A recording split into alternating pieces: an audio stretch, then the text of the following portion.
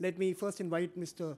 Uh, Ravi Shankar Prasad to um, respond to the central theme, connecting South Asia and connecting its people. Well, if I can begin with the case of India, there is a fundamental philosophy underlying our approach to digital connect. We missed the industrial revolution because of various historical reasons. We missed the entrepreneur revolution which swept the world, different parts, in 50s, 60s, 70s, and 80s because of the license permit quota raj which we had in, in, our, in our country. We don't want to miss the digital revolution. We want to become leaders in that. That's the first philosophy behind it.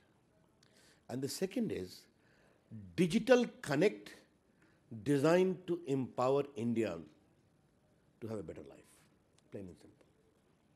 The second, digital governance is good governance, is transparent governance. Very briefly, what is the digital ecosystem of India? Number one, we have 1.03 billion mobile phones in India. We have 1.05 billion Aadhaar card digital identity and 400 million internet, 60% mobile based, very soon likely to become 500 million. I need to compliment Indian mobile sector who have done very well. Okay. A silent revolution has happened in India. What we are doing is very clear, let me tell you very briefly. Samir. We are creating infrastructure connecting 250,000 gram panchayats by optical fiber network. Number two, unleashing a big revolution of common service centers at the hinterland. Nearly 250,000 giving digital services, making Aadhaar card, passport, banking, insurance. This great initiative of Postal Payment Bank in 650 districts of India, whereby our rural postman will go with a handheld device to deliver services in the ground. And lastly, pro people initiative through digital services. E-hospital, about 40 hospitals are connected for registration of patients through digital connect. E-scholarship, about 10 million students are on portal of e-scholarship. Then the great program of digital inclusion, Jan Dhan Yojana. We opened 240 million accounts in a short span of one year. Connected that with Aadhaar, verifiable digital identity. Seeded to the bank. And we have saved close to $6 billion in various pro-people initiatives. Today, nearly 31 states of India are having their land record digitized. The digital ecosystem of the country has come on autopilot. Okay? And as I always say, digital India is more for the poor, for the underprivileged. A more inclusive society. And obviously, once India rises, and I, one thing I must mention, Samir, apart from Digital India, Make in India, Skill India, Startup India, Stand Up India, they're also pushing manufacturing in a big way. And I'm, with this August audience, I'm happy to share in the last one year, 40 mobile manufacturing units have come in India, which is hardly one or two when our government had come to power. And it is creating ripples all around. India is becoming a big center of mobile manufacturing. India is home today to 270 million smartphones. So from manufacturing to services to infrastructure to governance, all are working together. Cloud, your digital locker. We started digital locker only six months ago. I'm happy to tell you that today nearly 2 million people have come on board. And nearly almost 4 million plus government records are on digital locker. The, all the new technology from manufacturing and then Internet of Things and other things. I always say, as far as Asia's journey is concerned, in which I include India, I include uh, other parts of Asia, Ch China, the journey from the desktop to the laptop to the smartphone, which is a mini computer, is a phenomenal journey, game changer. And I think Asia, in terms of creating a digitally inclusive world, is going to play a very crucial role. So let me ask you um, one question because I think that's uh, something that everyone has been uh, praising this government for, but there have also been a uh, some degree of skepticism. The government itself seems to have become a startup. Uh, it's engaged in so many businesses and activities that are normally the preserve and domain of the private sector. Are we uh, creating also the ecosystem where we can uh, promote entrepreneurship and small and the SMEs in the digital and in the technology sectors to thrive? Some degree of government leverage is important to promote initiative, I always feel. And therefore, the startup movement, the kind of electronic fund, development fund, or the startup development fund, all the government can create. The initial ecosystem, Sunil, you will talk to Sunil when he will join you after me, and surely he will have to a lot of explain how he became an entrepreneur. There was some government initiative needed, and today he has become a giant of the world. I compliment him as many have become too. But some initial leveraging is important for the government. This whole mobile manufacturing, how it picked up, electronic manufacturing, medical electronics, defense electronics, auto electronics, because of the incentives we gave. Therefore, to say, I'm not saying government should remain in the business, but the government must remain the facilitator. And how I see the role of the government, Samir. The government initially as an administrator. The government thereafter became the administrator come regulator. Now the government's role in India should be administrator come facilitator. That's how I see it. So, uh, since the theme this uh, afternoon is connected South Asia, uh, are there real possibilities of creating a common e-market? You know, there has been a proposal in the TPP arrangements about joining up countries and their digital economies. Uh, is there possibility, and is it now the time to explore uh, connecting uh, this region, uh, at least on the cloud? I have only one problem. I'm all for it. And I'm very proud of Indian IT companies present in 200 cities of 80 countries. The export of our IT this year has been $108 billion, the highest ever. They're the biggest recipient of FDI, almost sharing 9% of the GDP. But my only problem is that if India starts doing well, then we see barriers. Okay. I don't want to elaborate it. I hope you understand what I'm trying to hint at. Now, if the same thing start happening as in E also, then that is a problem. There, if the world is open, it must be genuinely open. And ta- talking Indian Economic Summit, I always say, Indian companies go abroad, they, they pay good tax, they create good employment. I think they are contributing substantially to the GDP of foreign countries also. The same in Indian mobile companies going abroad in any, any part of the world. They are doing a good job. Therefore, digital connect in commerce is a natural corollary. Okay. But if the connect is good, the initiative needs to be respected. That's how I see it. So you um, come from a, a state that is uh, requires a huge degree of transformation. You represent uh, Bihar, uh, and um, I would like to ask you, since uh, in New Delhi the new buzzword is cashless uh, transactions, cash light societies. How is the uptake in in the peri-urban and rural India to these new opportunities of digital payments, of uh, using technology for uh, small trade and small commerce? Let, let me ask you a question. I think Sharma will be the best person to answer you when he will, his turn will come. You'll ask him. But he, he's doing a good job. Why not? This digital payment in India is picking up very fast. Okay. It is not only on TV screens. I'm seeing it. One study needs to be done. How many of Indians are using digital devices for in the farming sector? That will be a classic study. The e-Mandi which we have started because my NIC remains involved in creation of all this. It is doing quite well. This uh, e-passport, e-visa. Therefore, this whole acceptance of digital technology to ensure a hassle-free existence is the real enabler. And I would feel as India is changing, because I, if uh, Jandhan is the classic account, if without any middleman or fictitious account, my money is coming in my account, that is the recognition of respect for digital connect.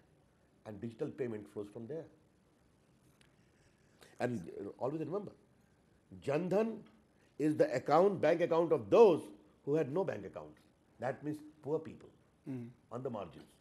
And it only reinforces my premise digital India, more for the poor, more for the underprivileged. Before I invite a couple of questions from the audience, because uh, we will have to let you go in five minutes, uh, my final question to you would be um, How do you see uh, the digital economy contributing to job creation, or are we going to see technology uh, create uh, disruptions in the workforce? Well, this is a very debatable question. I see Indian digital economy crossing $1 trillion in the coming four to five years. Once the digital India becomes completely proactive, as it is, you talked of my estate. I had a lurking apprehension Aadhaar may not be employed there, but they are realizing the, the worth of Aadhaar and they are becoming proactive. The northeastern states, I traveled in the entire country, there is a keenness to adopt Aadhaar. And mind you, we have passed a law of the parliament creating Aadhaar platform which is completely secure, confidential as far as data is concerned. But having said that, what is more important is that there will be competition, yes, but the power of the people's interest will drive it. As Samir, I always say, and let me repeat again Indians first love technology. No, first observe technology. Then they adopt it. Then they start loving it. And then they become empowered in the process. I thought it was an Indian phenomena, but I am happy to say it is emerging as an Asian phenomena. Excellent. So we'll uh, invite a couple of questions uh, from, uh, please introduce yourself and um, uh, do ask your question, keep it brief. And we have a lady at the back and the gentleman here. And okay, maybe one more. So we'll take three. Okay, we'll take three. Thanks. Go ahead. Uh, good afternoon, sir. My name is Utkarsh. Uh, my question to you is that you're the only minister in the world who's the minister of IT and law.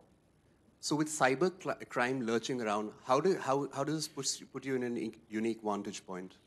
On a point of clarification to you, I am the third time the law minister of India. Okay? Therefore, that should. the prime minister chose to give me that portfolio, but yes, cyber security is important. And as our prime minister says, cyber security is akin to bloodless war. And all the civil society, democratic countries need to come together. In terms of creation of human resource, our government is very keen for that. We are creating human resource for training of judges, of police officer, of civil servants. We are creating a proper technological um, barriers against these. But what is important, we need to work together. And the problem is, Samir, those who flout the digital norms to create cyber security challenges are smarter than us. I always say that. The world has to work together. There is one brief issue must I very briefly highlight here, and that is the appropriate forum. A right to access of internet must be available without discrimination. Internet is one of the finest creation of human mind. If it is a truly global platform, it must have linkage with the local. This I always feel. And this, this position of India I have articulated in the parliament, and this position is very important to be appreciated. Yes. So, so I think uh, what Ut- Utkarsh did not complete in his question was that we look forward to um, a propositional um, framework around encryption, privacy, and some other matters that the online uh, management does require. My take is very simple. There is a robust IT provision in place. If something more is needed, I am quite open to. But with one caveat. Narendra Modi government fully respect freedom of expression on the social media and the giant movement emerging on social media. It's creating accountability, information, and everything. Thank you. Uh, the lady at the back, please. Good afternoon. I'm Sugandha and I belong to the state of Bihar.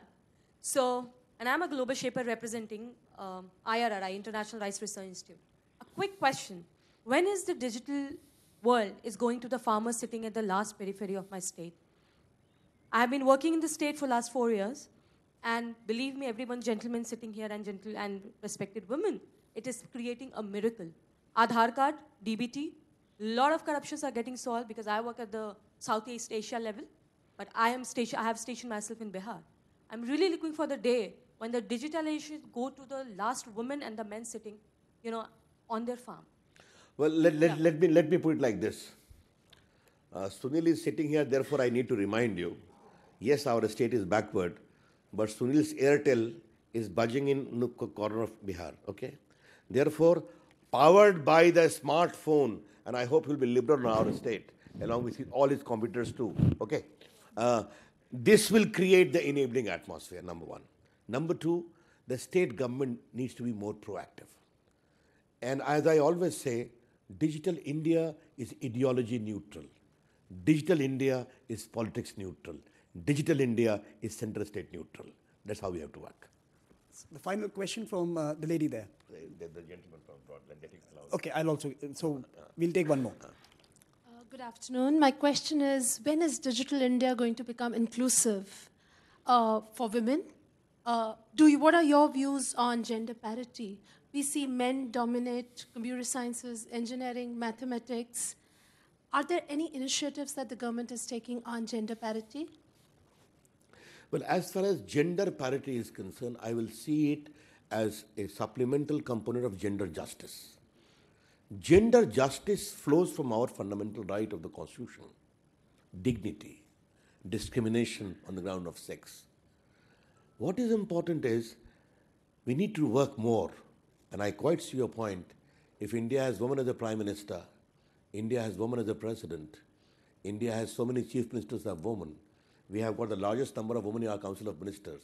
We need to promote more women uh, technologists.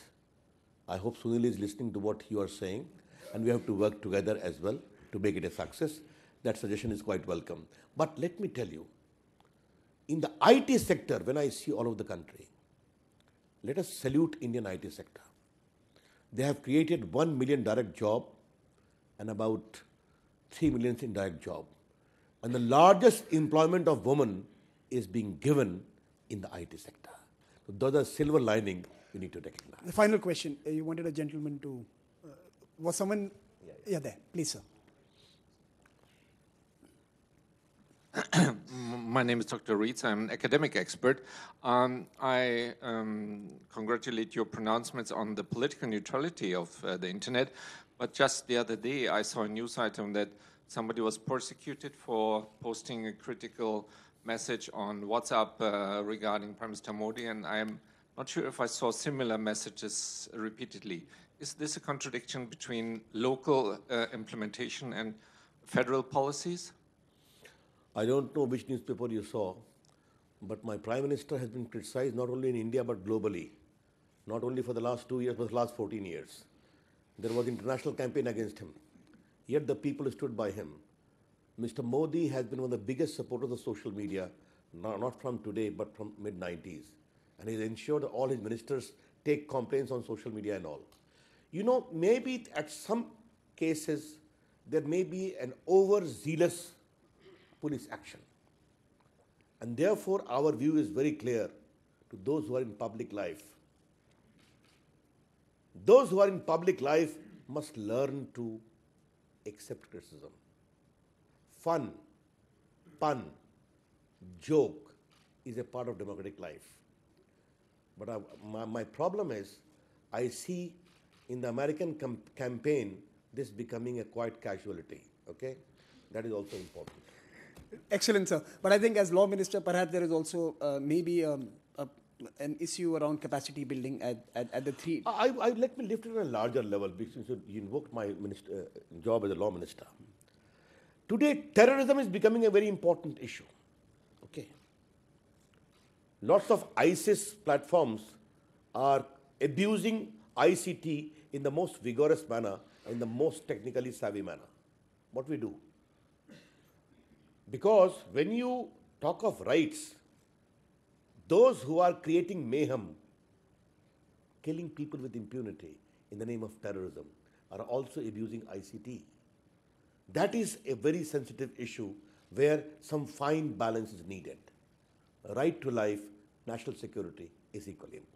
That's how I see it. Please join me in applauding the minister for his remarks and his engagement with us. And thank you, Mr. Minister.